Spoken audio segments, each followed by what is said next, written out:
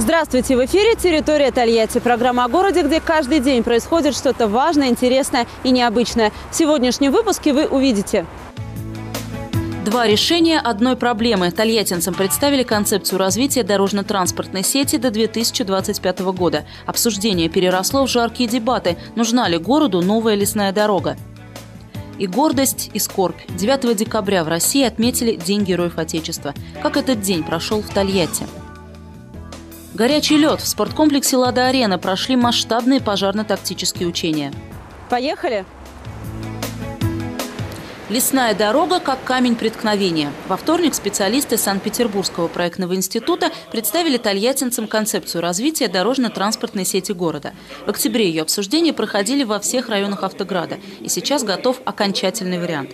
Однако в нем нет однозначного ответа, строить или нет через зеленую зону магистраль, которая соединила бы центральный район с автозаводским. Специалисты прогнозируют, к 2025 году с учетом увеличения числа автомобилей загруженность городских дорог достигнет 160 50% на отдельных участках и рассчитали, как можно изменить ситуацию. В первом варианте мы производим предлагаем произвести строительство лесной дороги. На втором варианте мы отказываемся от строительства лесной дороги и осуществляем строительство развязки в разных уровнях на пересечениях Южного шоссе, Автозаводского и Хрящевского шоссе. Реконструкция участка улицы Громовой, строительство развязки на федеральной трассе М5, строительство участка улицы Механизаторов, строительство улицы Калмыцкой с выходом на обводное шоссе, строительство улицы 40 лет Победы до Южного шоссе, реконструкция Южного шоссе заменой кольцевых развязок на прямые участки, реконструкция лесопаркового и комсомольского шоссе.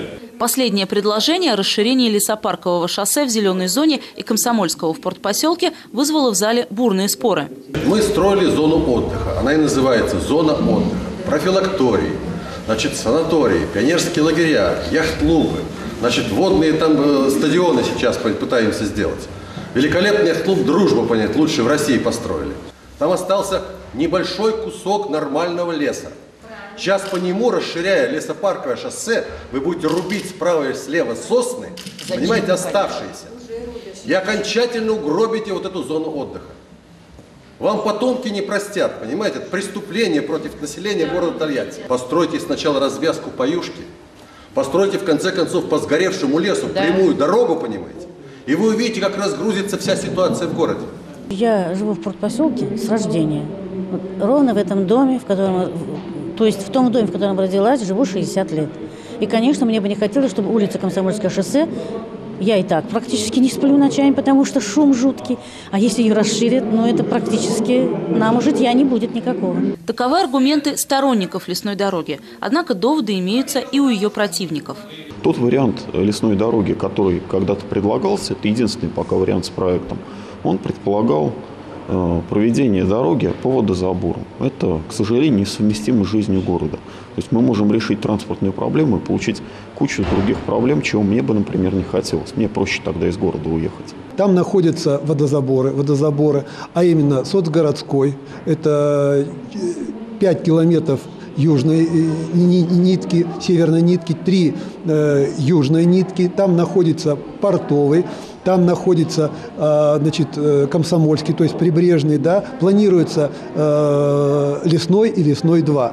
И поэтому я считаю, что целесообразно сначала сделать развязку, развязку, соединить э, на Южном шоссе, соединить этой э, развязкой те районы, которые застраиваются, а рисковать водозаборами – это последнее дело. Концепцию развития представили депутатам Тольяттинской думы. Парламентарии пока утвердили оба варианта. На 2014 год уже заложены средства на реализацию некоторых пунктов, а именно строительство дороги по улице 40 лет октября и участка улицы механизаторов, реконструкцию Офицерской. А вопрос необходимости лесной дороги еще предстоит решить. Не исключен вариант и общегородского референдума.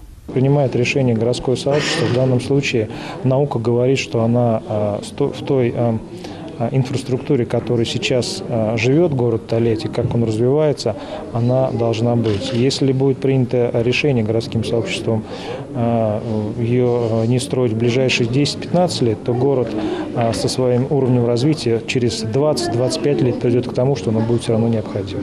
Поэтому это вопрос только времени.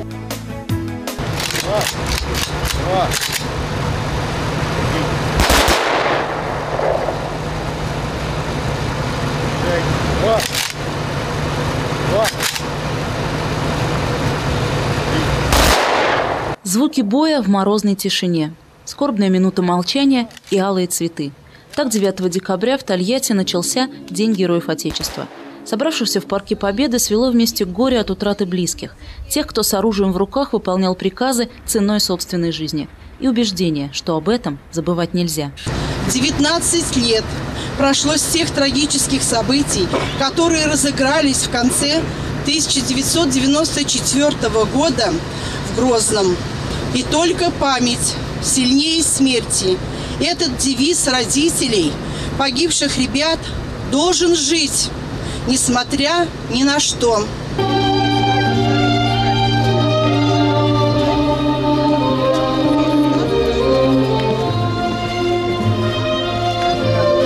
Цветы Ираиды Микряковой для сыновей Алексея и Александра. Братья-близнецы родились в один день и умерли в одну ночь. Новогоднюю ночь 1995 года в Грозном. На момент гибели им было по 19 лет. Это было э, в момент штурма вот, Грозного. Когда мы узнали перед э, значит, тем, как э, их в Чечню отправили в Моздок, я их навещала, как бы слушок прошел, тогда об этом не говорили. Вот. Ну и мне старший, как бы я его называл, Саша, сказал, ну, приказ не обсуждается, куда нас пошлют, туда им... Я еще обронил такую фразу, если будет война или что-то, как-то берегите себя.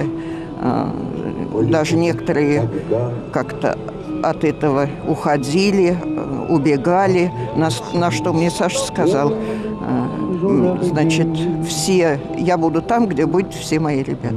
Тогда никто не знал, что это будет последний разговор матери с детьми. Сегодня имя братьев Микряковых носит машиностроительный колледж Тольятти, где учился Александр. А на Банакинском кладбище образовалась аллея, где 1995 год смерти выбит почти на каждом гранитном камне.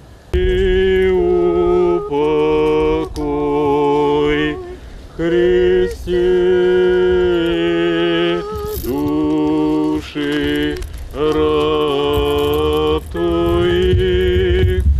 Сына Ивана Пекина Эдуарда призвали в армию в 1994 году и сразу начали готовить к войне. 9 декабря его полк попал под первый артобстрел. В феврале 95-го Эдуард лежал в госпитале, а после лечения снова вернулся в горячую точку. Летом солдат получил второе, на этот раз смертельное ранение. После этого, как сына похоронили, через пять лет у меня уже умерла жена от э, переживаний всего, заболела. И вот она умерла. Но у меня есть дочь, два внука. Я все равно не один с внуками. Знают они про своего дядю, рассказываем мою. Я горжусь своим сыном. День Героев Отечества отмечается в России с 2007 года. И отчасти это возвращение до революционного дня памяти Святого Георгия. Дата 9 декабря приурочена к событию XVIII века, когда императрица Екатерина II учредила орден Георгия Победоносца.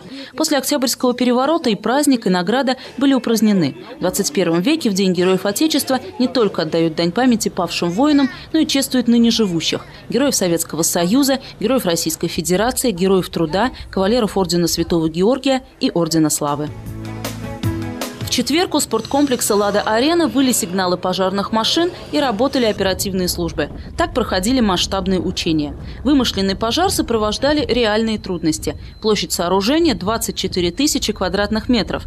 На борьбу с условным огнем прибыли 60 пожарных и сотрудники МЧС, а также 8 единиц техники. Но найти путь к эпицентру возгорания среди множества одинаковых лестниц и коридоров оказалось непросто. Поводное учение пожар начался здесь, в комментаторской будке. Это одно из самых опасных опасных мест при возгорании. Во-первых, в помещении очень много электроприборов. Во-вторых, оно выходит как в сторону коридора, так и в сторону непосредственно спортивной арены, которая вмещает 6,5 тысяч зрителей. В моменты масштабных соревнований с учетом прибывших гостей и персонала арены в здании может находиться до 7,5 тысяч человек. Поэтому задача оперативных служб не только справиться с огнем и устранить задымление, но и эвакуировать людей, возможно, пострадавших. Среди пожарных заметна некоторая суматоха. Работать слаженно с сотрудниками спорткомплекса получается не всегда. Ну, пожарным эта работа, конечно, сложная. И в спортивных кроссовках бегать, да? Видите, насколько амуниции на нас. Ну, пожарить точно так, только что маленько сложнее иногда бывает. А иногда легче бывает. То есть раз на раз не приходится. На «Лада-арене» подобные учения проходят впервые. Оперативные службы отрабатывают навыки ликвидации возгораний на объекте с массовым скоплением людей. Нельзя сказать, чтобы все прошло без сучка и задоринки, однако главная задача выполнена. Цель выполнена, я считаю, потому что люди эвакуировались достаточно оперативно, выполнили свой план. Есть вопросы по работе систем, которые мы будем решать. Здесь есть э, недостатки и по противопожарному обеспечению данного объекта, и по взаимодействию с администрацией объекта, ну и наши э, внутренние недостатки, как э, действовали сами подразделения. В течение следующего года мы продолжим изучение объекта а с каждой дежурной сменой. То есть, э, по крайней мере, мы в следующем году зайдем еще 4 раза для отработки плана тушения пожара и 4 раза для решения пожарно-тактических задач. Между тем, как рассказали представители «Лада-арены», противопожарная система крупнейшего спорткомплекса региона считается одной из самых современных в области. В здании имеется шесть аварийных выходов. При строительстве использовали трудновозгораемые материалы, а система вентиляции устроена таким образом, что при пожаре она отключает доступ воздуха в задымленные или охваченные огнем помещения.